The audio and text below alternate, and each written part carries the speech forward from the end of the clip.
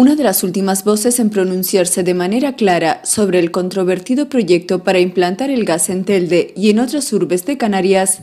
ha sido la alcaldesa Carmen Hernández. La regidora local ha avanzado que muy probablemente la Concejalía de Urbanismo informe desfavorablemente sobre este expediente, que el Gobierno regional ha declarado de utilidad pública y que ha encontrado un firme rechazo por parte del Cabildo Insular y de muchos sectores de la sociedad teldense, como vecinos, empresarios, ecologistas, partidos políticos o clubes deportivos.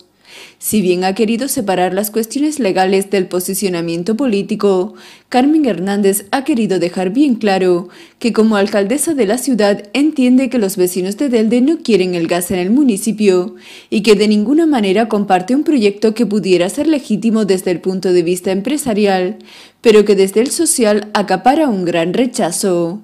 poniendo como ejemplo la retirada progresiva de las bombonas en las cocinas canarias y citando el incidente que recientemente se vivió en Londres, con más de un millar de evacuados por un escape de gas, Hernández ahondaba en la tesis de que en la cultura de las islas está instalado con mayor o menor rigor, que se trata de una fuente de energía peligrosa.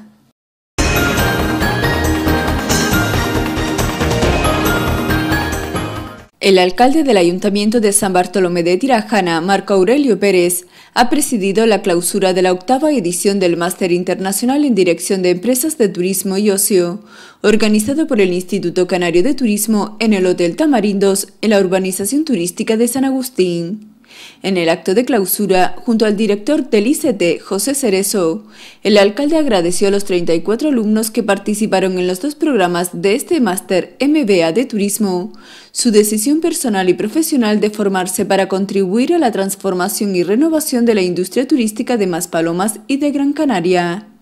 Marco Aurelio Pérez destacó que para el presente y el futuro de nuestra industria turística ya no basta con que nuestros profesionales sean buena gente, que tengan buen carácter y posean don de gentes.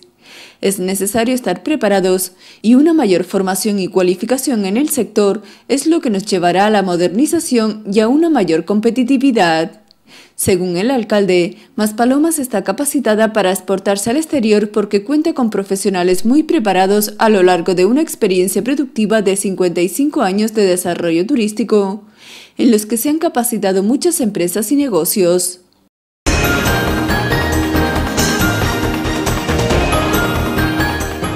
La octava Asamblea Local del Partido Popular de Mogán eligió este fin de semana por unanimidad a Michael Santana Araña como nuevo presidente de la formación en el municipio sureño. En un emotivo acto celebrado sin incidencias en un popular restaurante de Arguineguín, Santana estuvo arropado por destacados dirigentes populares, entre ellos María Australia Navarro, presidenta insular del partido. En su discurso de presentación de la candidatura, Santana quiso agradecer al que ha sido presidente local durante estos años, Francisco González, su esfuerzo, su dedicación y su compromiso al frente de la presidencia de este partido y de este municipio. Asimismo afirmó que asume el cargo de nuevo presidente como un honor y una enorme responsabilidad, donde está dispuesto a aportar constancia y máxima dedicación, con el objetivo de seguir trabajando por los vecinos con una actitud humilde y cercana. En 2011 se presentó por primera vez en una lista electoral al Ayuntamiento de Mogán, obteniendo acta de concejal y pasando a desempeñar el cargo de concejal de Cultura, Juventud y Festejos. En 2015 vuelve a presentarse a las elecciones municipales obteniendo nuevamente acta de concejal, del que ostenta en la actualidad la portavocía del Partido Popular en el consistorio en Mogán.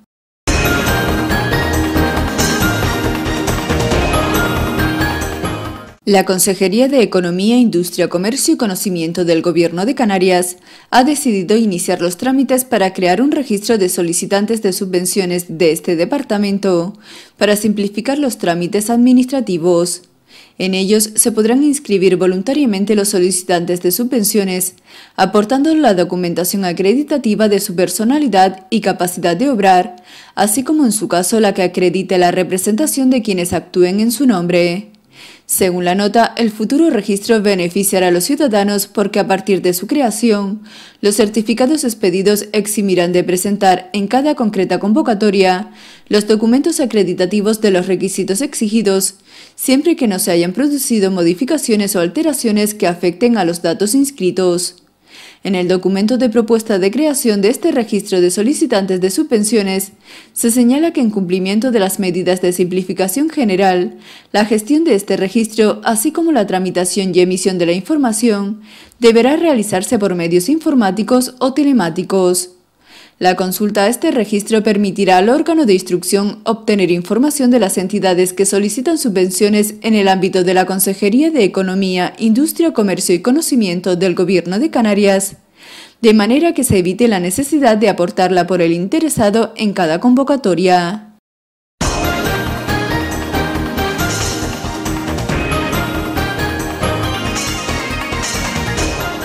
Las reiteradas quejas de los usuarios sobre las deficiencias de la Biblioteca Pública de San Juan en el municipio de Telde han surtido efecto, ya que la Concejalía de Cultura, a través de la empresa pública Gestel, ha emprendido varias reformas en el antiguo edificio que alberga este equipamiento de la calle Licenciado Calderín. La concejala de Cultura, Marta Hernández, ha explicado que ya se ha establecido una hoja de ruta para realizar mejoras y por lo pronto ya se ha arreglado la balconada que tenía un serio riesgo de derrumbe. Se le ha hecho una estructura metálica para que pueda soportar el peso gracias a una inversión de más de 4.000 euros. Pero pese a la actuación, el balcón sigue condenado hasta que pueda realizarse una intervención más profunda en un futuro, debido a su alto coste. También se han cambiado todas las luces, incluidas las de los 62 puestos, por unas nuevas de LED que ofrecen una mejor iluminación, y en los planes más inmediatos está también la renovación de todas las moquetas, las de las alas y de las escaleras, actualmente deshilachadas por el roce de las sillas.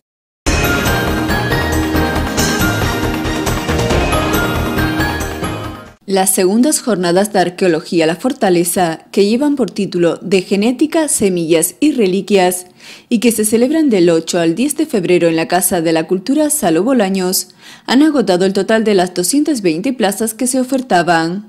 Las jornadas de arqueología La Fortaleza están organizadas por el Ayuntamiento de Santa Lucía y el Centro de Interpretación La Fortaleza y cuentan con la colaboración del Museo La Zafra, el Gobierno de Canarias y la Universidad de Las Palmas.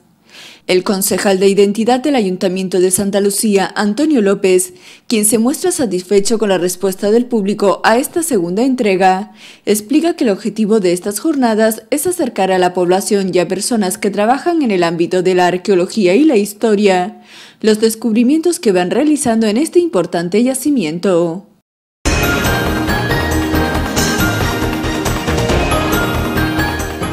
La familia de Antonio Quesada y Ana María Artiles ya le pone cara al presunto asesino. Rogelio S.T. es un viejo conocido del matrimonio de Buenarteme, que se encargaba de asesorarle en temas económicos y que sus hijos ya pensaban que podía ser uno de los sospechosos desde el año 2013, cuando tuvieron conocimiento de que había sido despedido de su puesto de trabajo por presuntamente estafar a algunos de los clientes. Entre ellos se encontraban sus padres, con los que supuestamente tenía una deuda de 60.000 euros, dinero que creían que estaba en un fondo de inversiones pero que Rogelio utilizó para beneficio propio. Lo fue también para la Policía Nacional, que desde hace años seguía la pista del antiguo empleado de banca. Su detención se pospuso al no tener suficientes indicios para atribuirle el asesinato, pero la situación cambió por completo el pasado mes de agosto, cuando una perra cazadora halló restos óseos en una ladera del Barranco de las Vacas, entre el casco urbano de Agüimes y el barrio de Temisas. El empleado de banca ha negado las acusaciones que se le atribuyen, como indicaron fuentes policiales, que precisaron a su vez que desde el primer momento ha presentado una posición poco colaboradora con la Policía Nacional. Ante la petición de más pruebas, el magistrado decidió alargar su detención otras 48 horas a la espera de conocer los resultados de unos análisis de ADN y por ello está previsto que a lo largo del día de hoy el juez le vuelva a tomar declaración y decida si lo envía a prisión o si lo deja en libertad.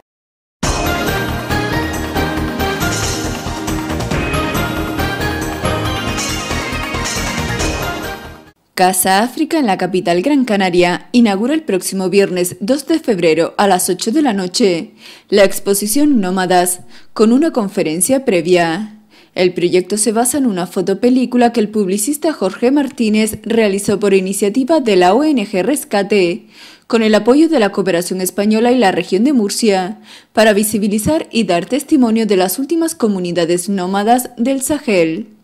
Martínez contó con el periodista Martín Caparrós y el fotógrafo Samuel Aranda, que le acompañaron en un viaje de inmersión en la vida de estas comunidades. La exposición aloja una selección de las fotografías de Aranda con textos de Caparrós, y el propio trío impartirá una conferencia el mismo 2 de febrero a las 7 y media de la tarde en Casa África.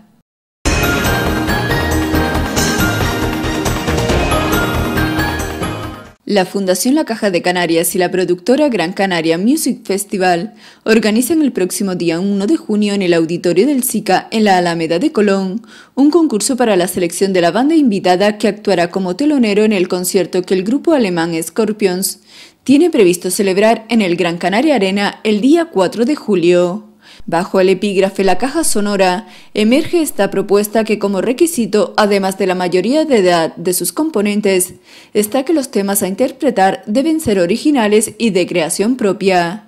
La organización subraya que nos admiten versiones de temas de otros artistas y que los interesados deben remitir entre el 1 y el 28 de febrero una maqueta o vídeo con un mínimo de dos temas.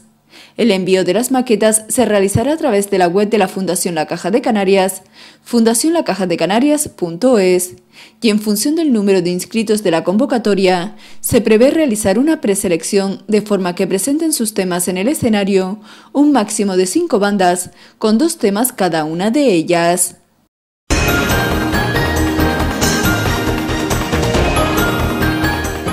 El vigésimo séptimo certamen fotográfico Bahía del Pajar que organiza la Concejalía de Cultura del Ayuntamiento de San Bartolomé de Tirajana ya conoce a los ganadores de sus cuatro categorías. El jurado presidido por la concejala de Cultura Esther Delgado ha decidido galardonar los trabajos presentados por Jana González con el premio general, Andrea Domínguez con el premio Autora Local, Adrián Jesús Suárez con el premio de Fotografía Joven y Juan Cardoso con el premio Fotomóvil. La auxiliar de enfermería Hanna González estudió fotografía en una escuela artística de Huelva, aunque sigue realizando cursos específicos y aprendiendo de forma autodidacta. González Dorta cuenta que hizo su foto ganadora el pasado septiembre en un invernadero de Galdar, al que llegó guiada por una amiga cuando buscaba la localización de un escenario para un proyecto. La foto titulada Sueños Perdidos la realizó en modo manual con luz natural y sin flash. La ganadora reconoce que pasó su foto a blanco y negro porque lo que quería transmitir con ella era algo del pasado como un recuerdo.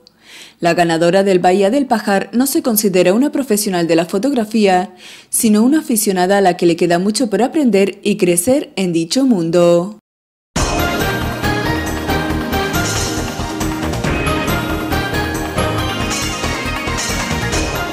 El técnico de la Unión Deportiva Las Palmas, Paco Gemes, se encuentra por un lado satisfecho por lo que hizo su equipo en el partido del pasado fin de semana, sobre todo en la primera mitad, pero por el otro lado decepcionado y apenado por la manera en la que la Unión Deportiva dejó escapar el pulso del duelo. Gemes cree que en líneas generales su equipo hizo un buen partido, hasta que afloraron los problemas de siempre de la Unión Deportiva Las Palmas, como son las pérdidas de balón y los desajustes defensivos. Para Gemes, los problemas del equipo radican sobre todo en un asunto de interpretación de qué hacer en cada momento y la falta de madurez.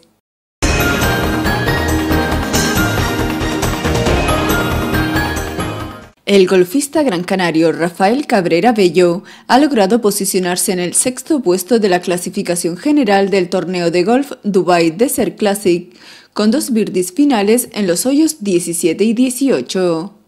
En la actuación de Rafa, que ha sido magnífica en los últimos días, quizá haya influido demasiado el más 2 con el que finalizó el primer día, en el que la gran mayoría hizo unos muy buenos recorridos con infinidad de birdies.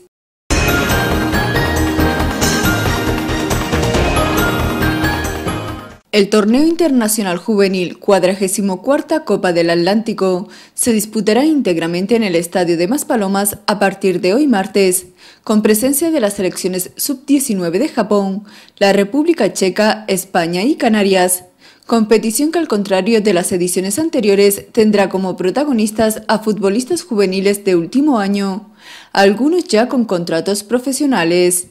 Las tres naciones participantes tendrán en Gran Canaria una valiosa oportunidad de poner a punto a sus equipos para competiciones oficiales de inminente celebración. Los partidos de hoy son Canarias contra Japón y España contra la República Checa. Mañana miércoles la República Checa contra Japón y Canarias contra España. Y el viernes Canarias contra la República Checa y España contra Japón, en unos encuentros que estarán dirigidos por árbitros de Las Palmas. Este torneo, organizado por la Federación de Fútbol de Las Palmas, aunque la Real Federación Española de Fútbol es la que decide los participantes, tiene un presupuesto de 82.000 euros. La entrada, como siempre, es gratuita y muchos ojeadores de clubes de primera asistirán para ver en acción a las futuras estrellas.